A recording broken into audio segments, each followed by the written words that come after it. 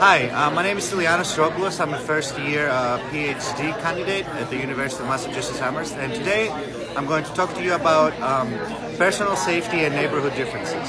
So we know that Abraham Maslow and Galtung have talked about the importance of personal safety theoretically and how safety is both a fundamental human need and a prerequisite for positive and negative peace.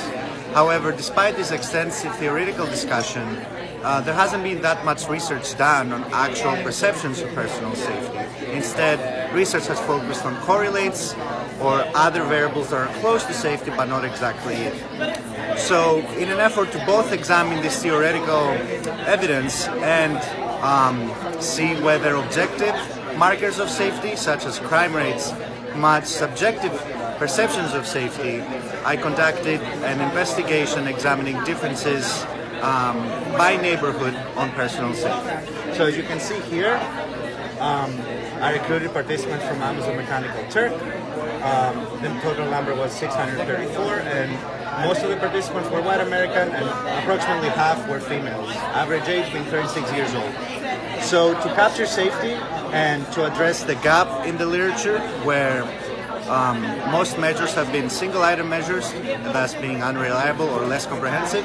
I utilized the newly constructed personal safety scale comprised by three facets fear of crime, the feeling of safety, and safety confidence. I also utilized the perceived police legitimacy scale comprised by 15 items. So moving on to the results, you can see that there is a significant difference in the feeling of safety and fear of crime, with um, rural areas reporting less fear of crime and um, higher a higher feeling of safety compared to urban areas. And this in turn explains the difference in personal safety overall. However, as you can see, there's no difference in safety confidence as, as individuals tend to feel equally safe in terms of their ability to protect themselves.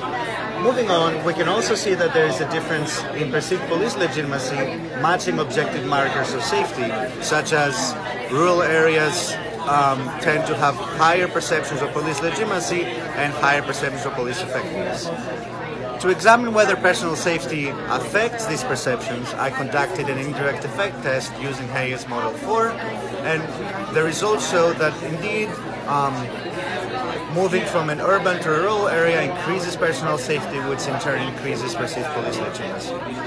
So what are the takeaways? The takeaways are that in, um, objective markers of safety do match subjective perceptions of safety, and that individuals living in rural areas do feel safer than individuals living in urban areas, and that in turn affects how legitimate and effective they perceive the police force, the police forces to be. So overall, these findings are useful because by implementing interventions aiming at increasing personal safety that are that are not directly affected by the police, such as uh, implementation of new lighting methods, increased social cohesion, or increased social order in the neighborhood, that could in turn influence perceived police legitimacy and effectiveness, thus reducing um, the divide between police forces and the general public. And finally, this uh, study also provided external validity for the personal safety scale, showing that indeed um, a complex model of personal safety can um, address uh, la larger scale questions that are usually captured by objective safety. Thank you for your time.